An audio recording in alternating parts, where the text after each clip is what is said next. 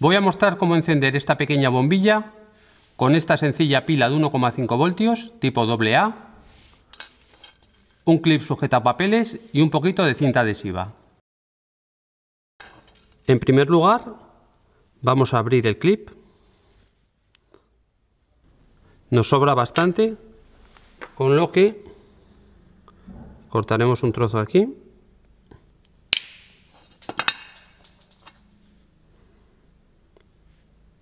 Para la base y dejaremos un trozo así para el otro polo.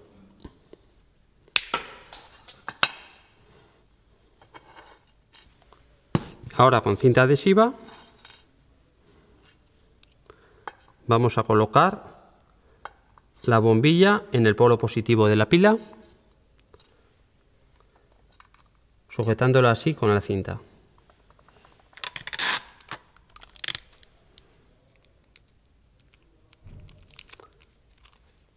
Ponemos la cinta así.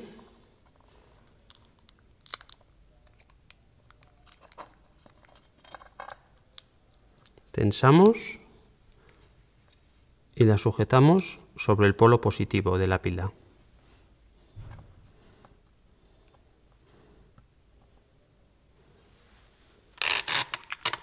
Vamos a ponerle otra capa por seguridad para que quede bien sujeta. Y ahora con otro poco de cinta adhesiva vamos a pegar al polo negativo de la pila este lado del clip.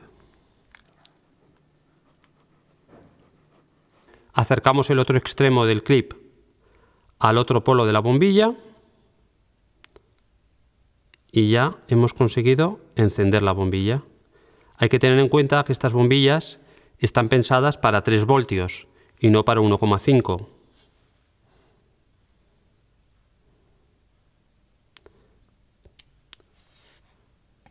Ya podríamos tener aquí una pequeña baliza luminosa.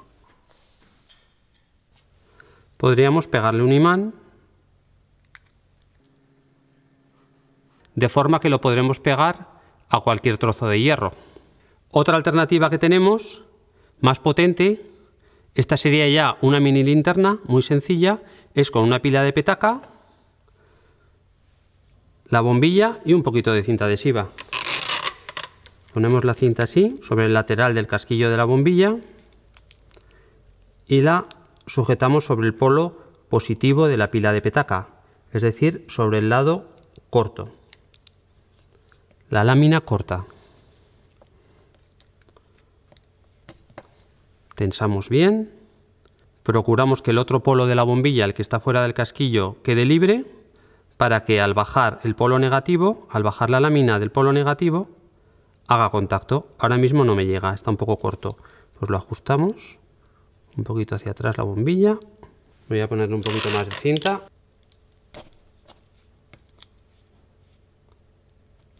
Ya lo tengo.